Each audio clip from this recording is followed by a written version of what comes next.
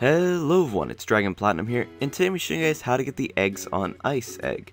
Now this is for the game Freeze Tag, and first things first is you're gonna have to wait for a egg hunt round in the game, as well as to actually get into the game and be a hider or runner or whatever they call it, but you can't be the person who's actually doing the tagging in order to get the egg.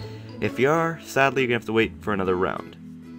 So anyways, uh, here we go choose your boost. I really the boost. I don't think it does anything. It made me want to pay for stuff, so I was like, eh, I'm good.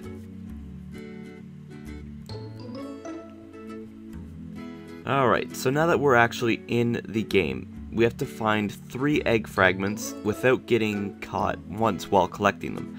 Now I think I did pretty good with this. I got pretty lucky because I don't even think I was attacked at all by any of the running around tagging people, so like I, I, got, I did this pretty cleanly, I think.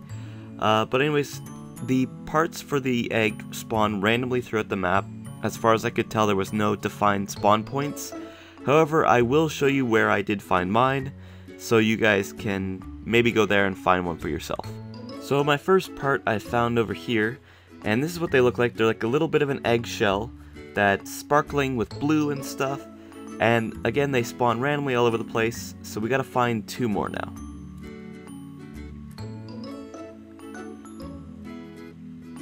And here's our last two over here, one there, and one here. And that is how you get the eggs on ice. It is really quick if you get lucky enough for everything to spawn so close by like I did. Uh, and as long as you don't get caught, you can get through this pretty quickly. If you do get caught after collecting a few of the fragments, you have to start all over again, which is kind of annoying, but that's just the way they did it. So anyways guys, that is how you get the eggs on ice egg, and that is all for this video. So if you guys liked this video, feel free to give it a like, comment, and subscribe. And as always guys, it's Dragon Platinum, signing out. Peace out guys. Bye.